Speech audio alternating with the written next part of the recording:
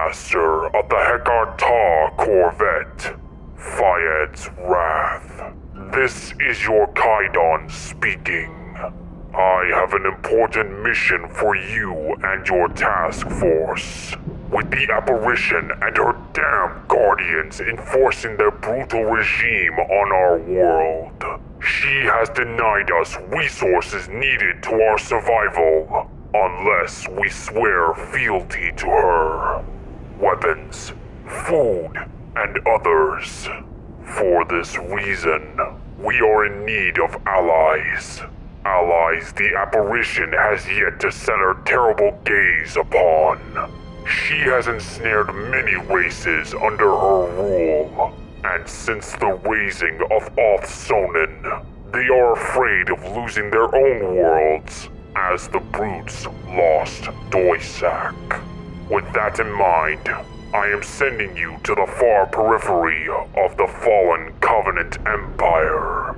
The Covenant Fringe, a collection of species that were exploited by the hegemony at the height of its power. While they held little import to the Alliance, their resourcefulness could prove invaluable now in these troubled times. But before you venture out into the unknown, you must know of the fringe species and of what value they can provide to Vodar, to all of Sanghelios. You and your men are still young, and you knew little of these collection of races during the reign of the prophets. By Urs, even I knew little of many of these races. But with new intelligence given to me by a Yonhet smuggler in my employ, I will share all that I have learned. Moreover, I shall be sending the smuggler to aid you in your mission. He is well adept with the fringe species known to me thus far. You would be wise to welcome his aid on this mission, for the sake of our clans. With that, let us begin.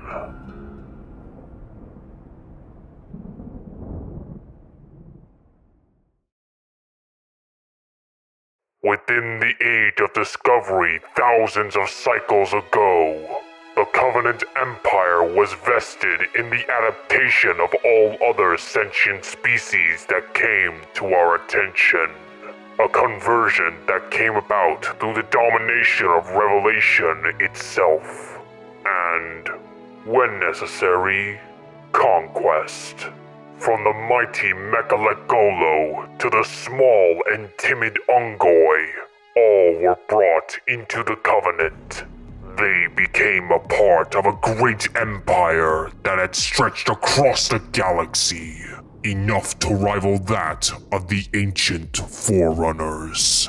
Amongst the holdings of the Covenant included the Fringe, a collection of civilizations that were held at arm's length by the Empire, exploited mainly for their strategic and infrastructural advantages.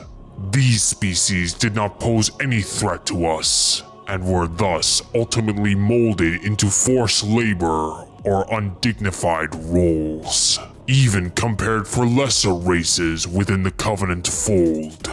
Often, they were treated more like tools and instruments rather than constituents within the hegemony.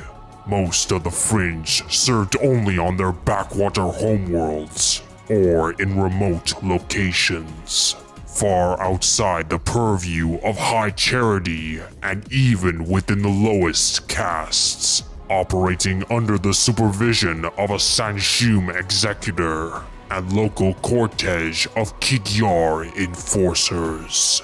With the fall of the Covenant, the fate of many of these desperate species is uncertain.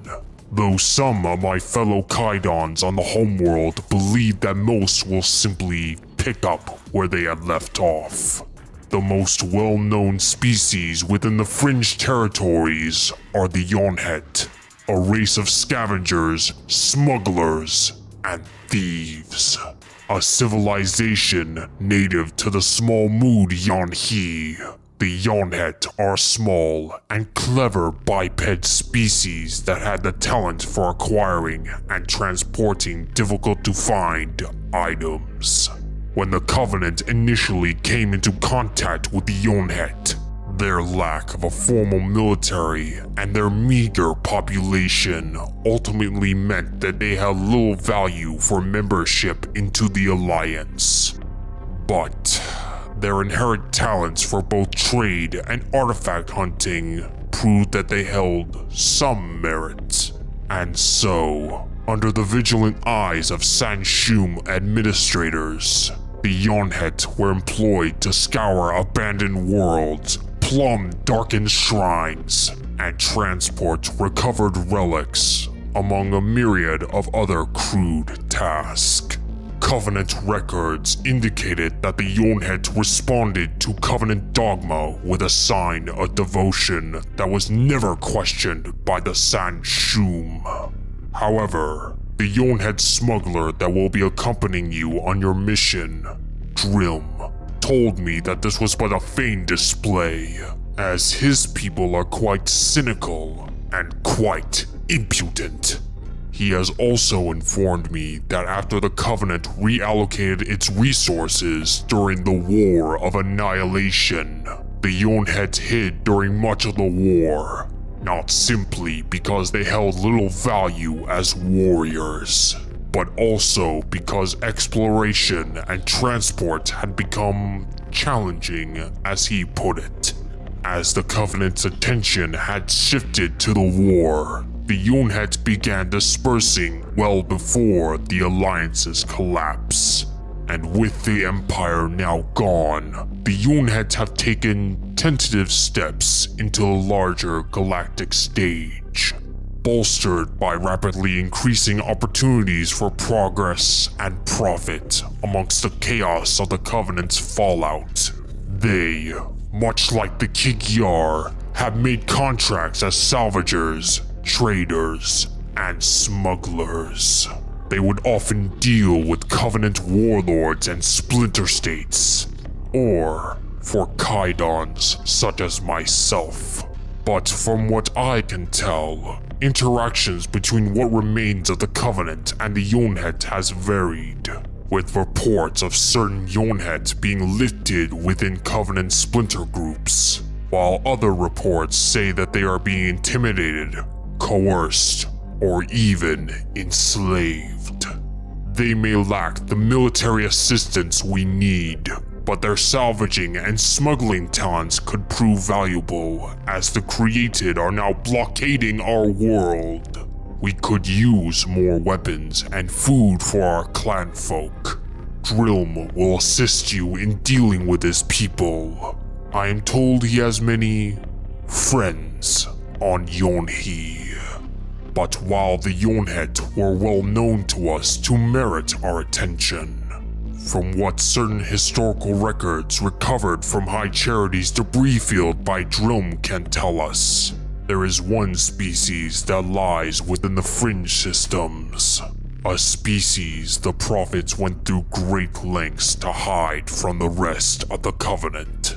From what these records can tell, Covenant relic hunters aboard the burgeoning fealty stumbled upon an ocean world called Reem, where they discovered an incredible wealth of Forerunner treasures, one of the largest stockpiles ever encountered by the Empire. However, the bulk of this reliquary was contained within networks of sunken Forerunner cities all submerged far below the surface of this planetary sea that covered most of this world. Further still, these cities were inhabited by strange aquatic creatures. These aliens are known as the Dazrim. According to these San'Shyuum reports, this species had repurposed the Forerunner technology in incredible ways creating a vast civilization that thrived within the depths. It is said that they are covered in fine layers of scales in wide ranges of colorations, and the Dazrim are said to be strong, resourceful, and highly intelligent creatures. Although, the Covenant had apparently been unable to penetrate their history or medical science. But eventually, the San'Shyuum managed to broker an alliance with the Dazurim, leveraging their unique knowledge of Forerunner technologies to what end, the gods only know. And as time went on, and more species were formally integrated into the Covenant, the Serpent Necks went through great lengths to ensure the knowledge of the Dazurim and their world remained a secret. It is said that they even employed the practice of executing entire crews that accompanied a prophet on a diplomatic trip to this planet. To only a handful were the coordinates known, and even those who simply knew of its existence spoke about it in hushed tones and far away from the prying eyes of the Sangheili. And following the collapse of the Covenant and the scattering of the San'Shyuum, the status of the Dazurim is unclear. Drilm will help you in finding this race. The coordinates of Reem have been purged from these records. But for a Yonhet, Drilm is quite adept in finding what is lost. If what the prophets claimed about these sirens are true, they could prove to be valuable allies against the apparition and her ilk. Now, within the fringe elements of the fallen covenant, no species was spoken about with more dread, fear, and caution than the mighty Sharquoi. Massive in size, these hulking beasts boast an imposing presence that dwarfs even the largest of the Covenant's client races. It is said that the armor of the Mgalekgolo was inspired by the indomitable presence of the Sharquoi, though these were only rumors and whispers, and most were merely dismissed as mere gossip, rarely seen by the highest echelons of military leadership. The Sharquoi were only employed in battle when necessary, since their presence often resulted in the decimation of their own forces, as well as the enemy's. I've reviewed these accounts from a shipmaster who spent a great deal of time in High Charity.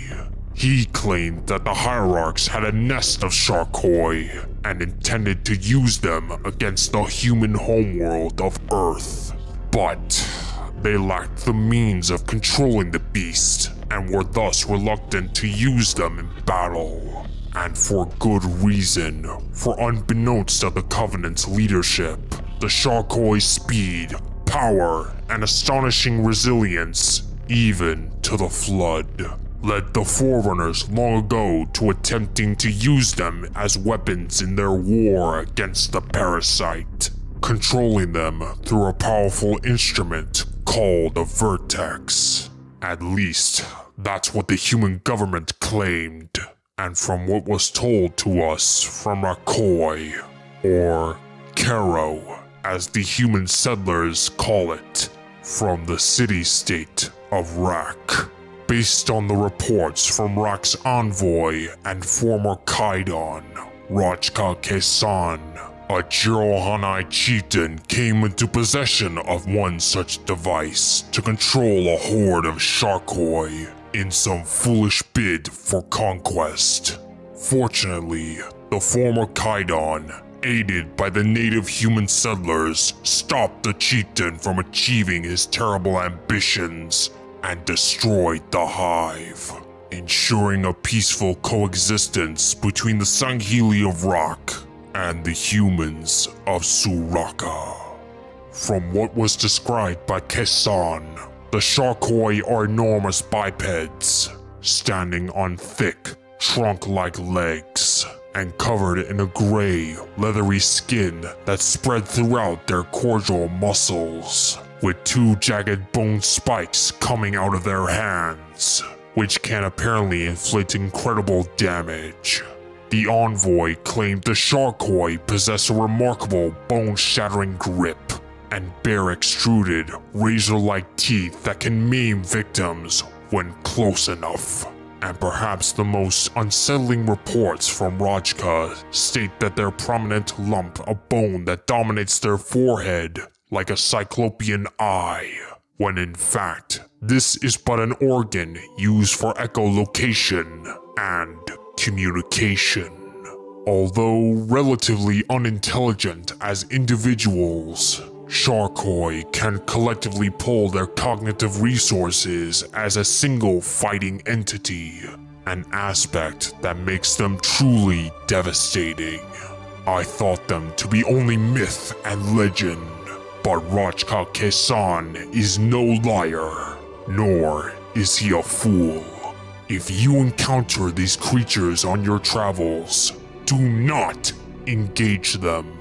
Avoid contact with them at all times. The humans claim the Sharquoi can decimate over 50 men. I need not emphasize the devastation these beasts can wrought in greater numbers. They can be formidable foes against the apparition, but I do not wish to see our keeps decimated as well. Now, you have your orders, Shipmaster. Travel to the fringe systems with all speed and find as many allies as possible. We need all the help we can to combat the created in any way we can, as well as keeping our clansfolk fed. Drilm will aid you in your mission as best he can. The Gex I am paying him will ensure that. It is no secret that you are wary of his race, but you will need him to establish a dialect with the vast races that dwell within this unknown region. Now go! The fate of our state, of our very homeworld, is at stake. May Urs shine upon your mission. This is Kaidon Nakai Vodar. End transmission.